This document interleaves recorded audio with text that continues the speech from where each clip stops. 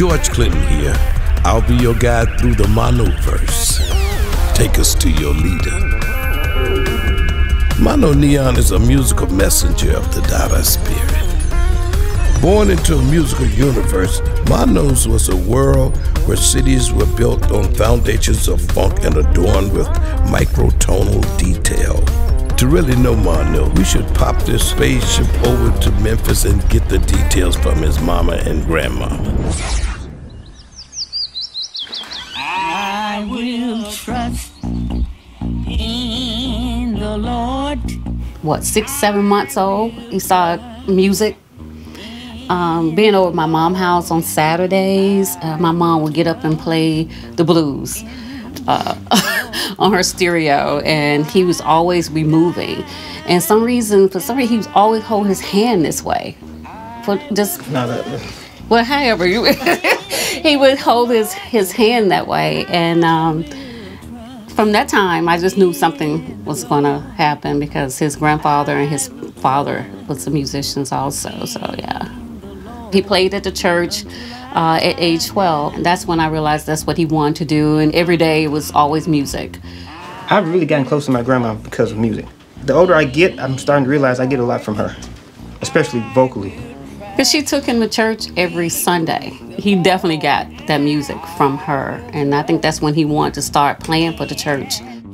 I always wanted to do something with her, and I just said, Grandma, let's let's do something. And she was willing to do it. And um, and I just started coming over here and just recording her and singing with her and playing music with her. And I'm glad he's doing that because Yeah. we can go back and look at it later. That she can go back and she can look at what she's done. I love it. Sometimes I get nervous because I don't know what they expect, especially with my grandma because you know she's a blues head and I do some other shit. But uh, yeah, You know, I, it took me a long time to get used to his style of clothing.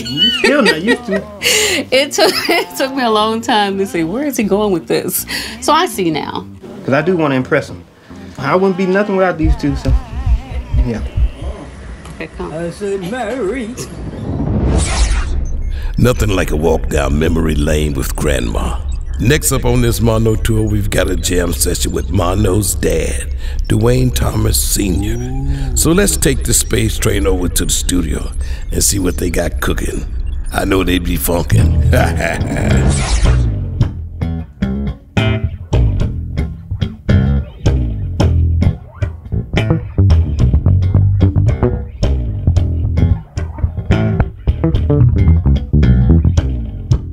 pretty much started out like each other. I had no formal training, just practicing, listening, imitating, emulating. Then later on, after thinking I know what I was doing, I started adding effects, things that basses wasn't doing at the time. Wah-wahs, crybabies, whatever, fuzz. Yeah, I got to work with a lot of people just from being me. You tell me to go right, I go left. So that's why I embrace what he does. You know, it's out of the norm, and it isn't out of the norm. It's something new. You know, his style is his style. Well, I, I've noticed I have I have a lot of my dad in me. I just I, it's really intuitive, and I, I just I just get it from him and and his dad, my grandfather. It's just in me. I don't know. I really can't explain it. That was hard for me to try to do.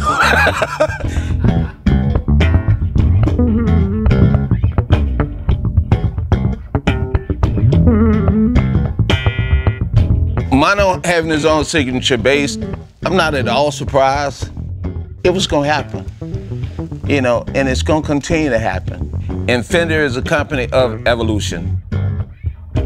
It's it's really amazing. It's, it's definitely a full circle Yeah. experience happening right now. So seeing my dad holding my bass is it's it's, it's, it's really crazy. He's like my first musical hero. So I used to practice all his records. The stuff he played on with Denise LaSalle, J. Blackfoot, and Rufus Thomas. I used to just try to find anything that he played on and just learn it. I wanted to be like him with the purple bass, the ponytail, the fanny pack, all that stuff. I want to be just like him. I still do. So that's us. Confused, nice, bashful, but I think he gets that from me. Yep. Wow, that was beautiful. Man, what a touching moment.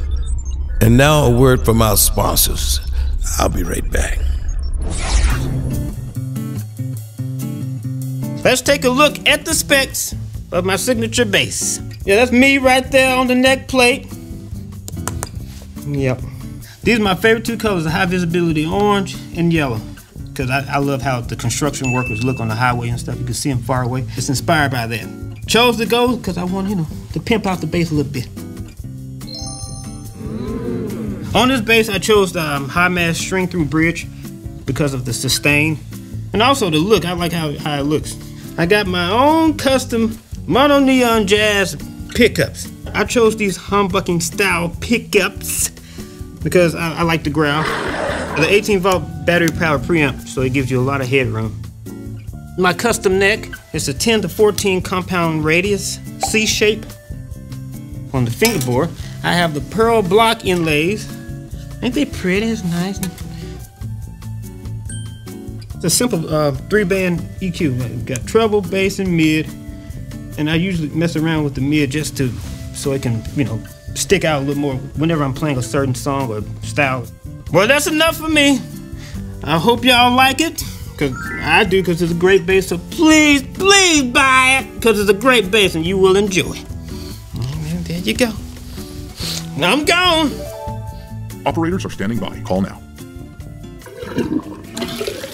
And now, the duo of bullshit.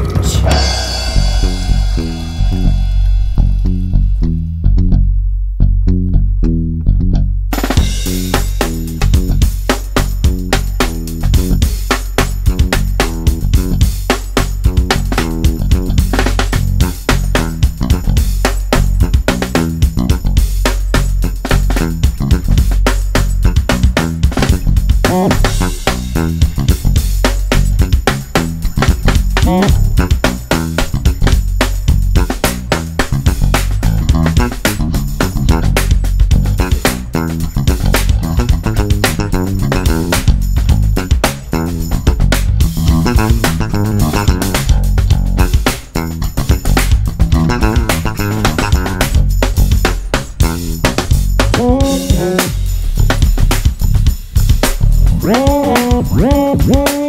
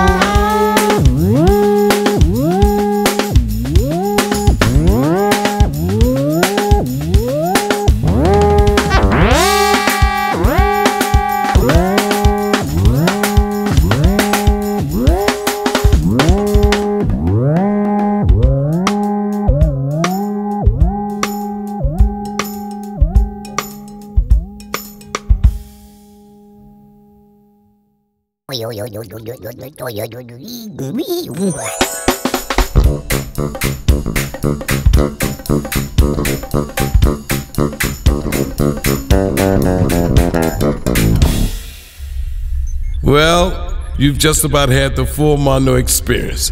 I think you are ready for some one on one time with Mondo himself. Let's do this.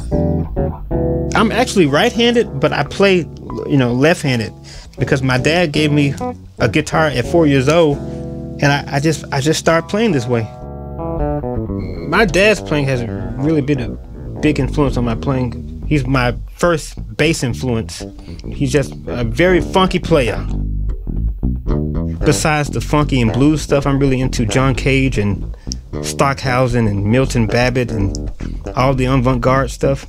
I met this guy named David Fiuczynski.